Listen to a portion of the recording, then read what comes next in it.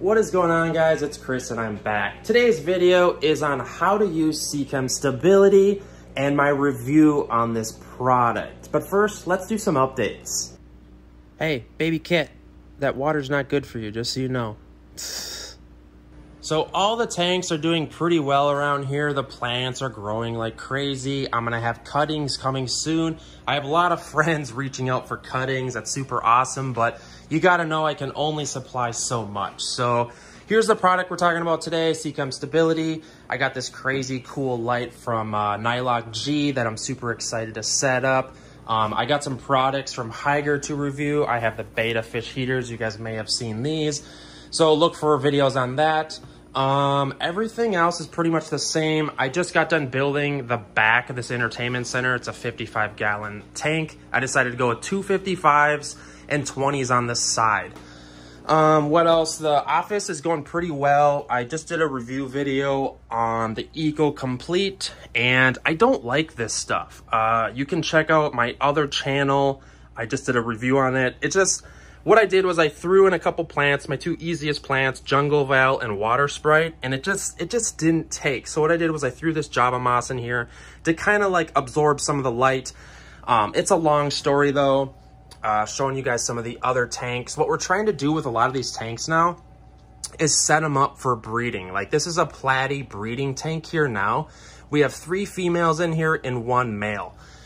Uh, essentially, this tank is the same thing. We have two females and one male in here, etc., etc. This moss is doing extremely well. I absolutely love this stuff. Again, three females, one male with the black mollies. Or wait, I guess I do see some little guppies in there. We'll have to take those out. It doesn't hurt. What we're just trying to do here is kind of just like make breeding a lot easier and efficient. So guys, let's talk about the product of today's video. Seachem Stability.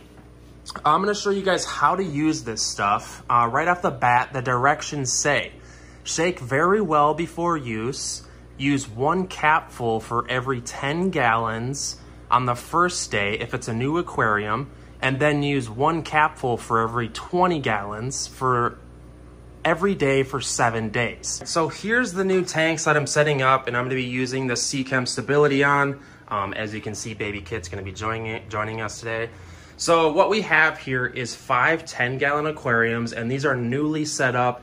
You may remember this was maybe set up differently a couple weeks ago, but I decided to go with the long way on these tanks just because the window gives these tanks a lot of UV and I was having algae issues and I'm hoping setting them the other way helps that. So so let's just jump right into uh, applying this stability to the tanks. So these are the five tanks I'm going to be dosing today with Seachem Stability.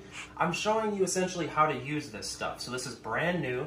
The directions say to first thoroughly shake the jug of stability. So that is done. Next, we are going to open it. There's a little metal seal on here and it says to dose one capful per every 10 gallons on a brand new aquarium, a new setup. And a lot of people are sort of, uh, they don't really believe in this stuff because, you know, some people will argue that, you know, that the bacteria doesn't live without refrigeration. And a lot of people say that, you know, like the Fritz products are a lot better. But here's the deal Seachem stability is actually the spores of the beneficial bacteria that's used to cycle the aquarium. Baby Kit wants to get involved. So what I'm doing here is just pouring a cap full per every tank because each of these are 10 gallon aquariums, obviously. And then after this, um, this is a, essentially a seven day process. And for every single day, we're gonna cut that dosage in half. And, you know, like tomorrow, I'm going to dose half a capful. So I'm gonna dose all those for every single day until like, I'll probably do till like day five. So because the stability is the nitrifying bacteria, we need a source of ammonia. So there's two ways to get ammonia. If you're doing a fish in cycle, obviously the fish waste is going to be the ammonia source. If you don't do a fish in cycle, which I urge you not to do, you should do a fishless cycle so no fish are harmed in the making. Um, you need, uh, what the go-to is a pinch of fish food.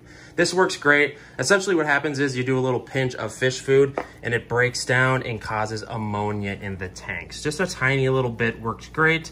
Um, and during, and during the like seven day process, I don't add any more food usually. Some people do. I understand there's a lot of uh, kind of controversy and like people kind of arguing about this, but that's literally all I do to feed the cycle the ammonia. It's the next day and we are going to be dosing the stability again. And like I said, uh, for the next couple days, we are going to be dosing half of what we did the first day. So that's half a capful and we are going to do that for every single tank until like uh, day three. So tomorrow what I'll probably do is I will test that and we'll come back to that and see our results. All right guys, so it is day seven now and I have been dosing the Seachem Stability for seven days now. And essentially, you could get I could get super technical in explaining the nitrogen cycle, uh, but here's the deal. What you want to look for when dosing with stability is the nitrates because what what you're bypassing here is the adding ammonia cycle because the whole cycling process is adding ammonia, having it change to nitrates, and then nitrates, you're essentially skipping all that and getting the bacteria in a bottle. So what we're gonna do now, you essentially know you have a cycle when you test for nitrates. So coming over here, I would, I would highly advise you buy yourself a liquid test kit or else test strips. I know that a lot of people trash talk test strips, but I highly, I use these things all the time. I love them. I don't care what anyone says because I, I feel like a lot of people even screw up liquid test kits. They expire. Um, I, don't know. I really love these things. So what I'm going to do now is test for nitrates. This is really simple. And all you do with these test strips, um, all you do is dunk it in